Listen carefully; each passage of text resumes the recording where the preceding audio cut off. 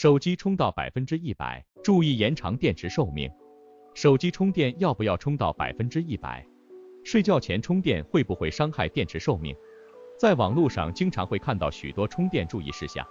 对此，三 C 专家指出，目前各行动装置使用的锂电池，在技术不断精进之下，不仅可以安全做到八十万、一百二十万快速充电，甚至也有厂商做到两百四十万快速充电规格。以往循环充电五百次的旧规格，也进步到一千五百次以上高功率充电后，仍有百分之八十的电池健康度。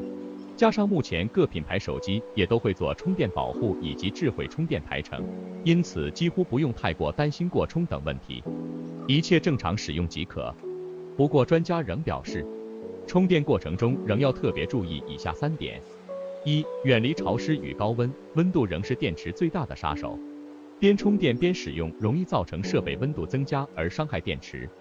充电器与充电线也要避免受潮，以避免接点氧化等危险。二、锂电池虽然技术已经进步许多，但先天特性使然，依旧不建议让电量太低，以确保锂电池不会因为电量过低而产生假死现象或膨胀。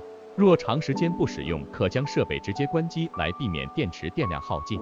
三、务必使用安全合规的充电设备。有些品牌智慧型手机标配已不提供充电器，因此不管是沿用旧有充电器，还是购买新的充电器，都要注意是否通过安全检测。太老旧的充电器也建议适时汰换，以测安全。尽管电池技术不断精进，但电池仍属耗材。不管是智慧型手机内建的电池，还是外出携带的行动电源，都建议二到三年进行更换。健康生活编辑部，谢谢收看。